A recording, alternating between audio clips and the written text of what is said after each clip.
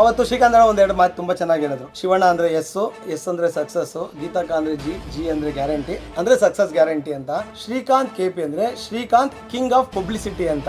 ನಾನು ಭಯಂಕರ ಒಪ್ಪಿಸರ್ ಫ್ಯಾನ್ ಆಗಿದ್ದರಿಂದ ಈ ಫೋಟೋ ತೋರಿಸ್ತೀನಿ ಸಾವಿರಾರು ಭಕ್ತರು ಒಂದು ಜಾಗಕ್ಕೆ ಸೇರಿ ಒಂದೇನೋ ಆಚರಣೆ ಮಾಡಿದ್ರೆ ನಾವು ಆ ಜಾಗನ ರಾಮ ಮಂದಿರ ಅಂತ ಕರಿತೀವಿ. ಸಾವಿರಾರು ದೇವರುಗಳು ಯಾವ್ದಾದ್ರು ಒಂದು ಜಾಗದಲ್ಲಿ ನಿಂತು ಒಂದು ಆಚರಣೆ ಮಾಡಿದ್ರೆ ಅದನ್ನ ನಾವು ಊರ್ವಶಿ ಚಿತ್ರಮಂದಿರ ಅಂತ ಕರಿತೀವಿ. ಗಂಧದ ಗುಡಿನ Rajkumar sir point of view ಇಂದ ನೋಡಿದಾಗ, ರಾಜ್ಕುಮಾರ್ ಸರ್ನ ಹೀರೋ ತರ ಇಟ್ಕೊಂಡು ನಾವು ನೋಡಿದಾಗ, ಅದ್ರಲ್ಲಿ ವಿಷ್ಣು ಸರ್ ವಿಲನ್ ಆಗಿ ಮಾಡಿದ್ದಾರೆ.